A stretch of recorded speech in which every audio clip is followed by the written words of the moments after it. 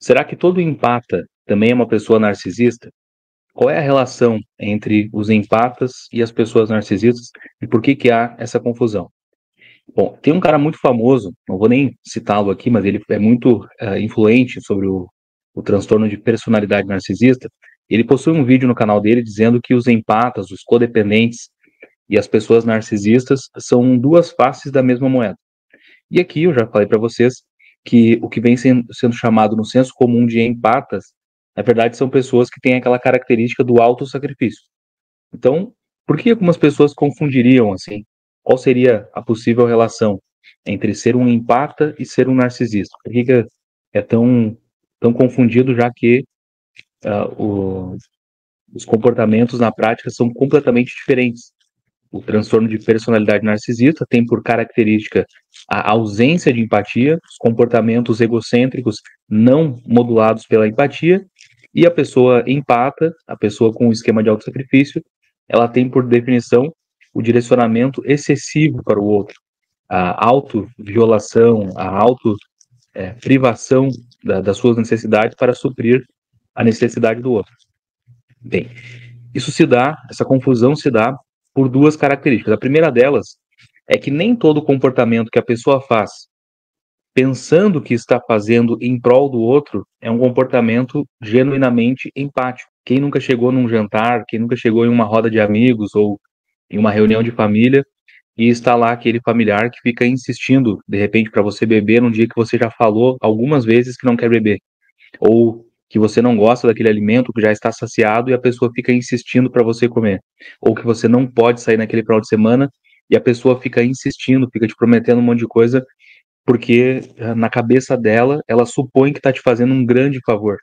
É você dizendo que está mega tarefado de trabalho, ou tem que descansar, ou que está doente, ou que não pode, e a pessoa fica criando um contexto para parecer que ela está te fazendo um favor, te oferecendo uma carona, dizendo que né, te pega em casa a hora que você quiser e tudo, mas ela não está usando a empatia genuína. Na cabeça dela, ela vai argumentar que sim, que ela faz aquilo pensando em você, porque ela te ajuda, porque ela quer fazer tudo. Mas isso não é uma empatia verdadeira. A empatia tem, por definição, a capacidade de modular o nosso comportamento para se ajustar aos limites do outro, para se ajustar à necessidade do outro. Então, uma confusão que as pessoas fazem em achar que todo empate é narcisista, em primeiro momento pode ser porque muitas das pessoas que supostamente são empatas, que se dizem empatas, que se promovem como empatas, na verdade são pessoas com uma dificuldade do ajuste do comportamento social. São muito impulsivas, são muito incisivas, buscando o, suprir o outro, na, na, presumindo que estão suprindo o outro, elas deixam de ouvir a necessidade verdadeira do outro. Elas deixam de se, se adequar exatamente a como o outro busca eh, e, e espera que ela haja. Então, essa já é a primeira confusão. Mas tem uma segunda confusão, que eu acho que essa tem mais a ver com um conceito técnico mesmo, e é importante a gente pensar. Quando a gente encontra é, artigos falando sobre esquema de autossacrifício, e eu vou deixar na minha área exclusiva de membros, viu, gente? Aliás, aproveito para convidá-los aqui, quem não é apoiador do canal, quem está assistindo a live.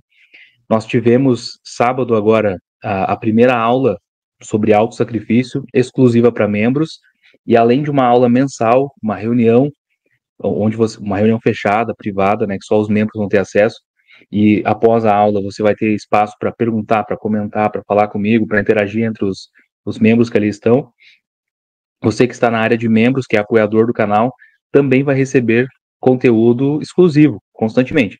Então, lá na área de membros né, do, do canal, quem quiser apoiar, basta procurar a opção Seja Membro aqui no canal, tem valores a partir de cinco reais por mês. Você consegue ter acesso a, a, a grande parte dos, dos recursos ali. Na área de membros, eu vou colocar essa semana um artigo, um link de um artigo científico explicando essa questão que eu vou falar aqui para vocês agora. Quando você encontra, então, na literatura, é, falar sobre a origem do autossacrifício, em artigos como esse que os membros vão ter acesso, a gente encontra dizendo que o autossacrifício ele é uma compensação do esquema de defectividade. Olha que interessante isso. O autossacrifício, ele parece um ele é um comportamento altruísta, sempre. Ele é um comportamento motivado pelo outro. Então, eu estou me sacrificando, eu estou me doando para atender a necessidade do outro.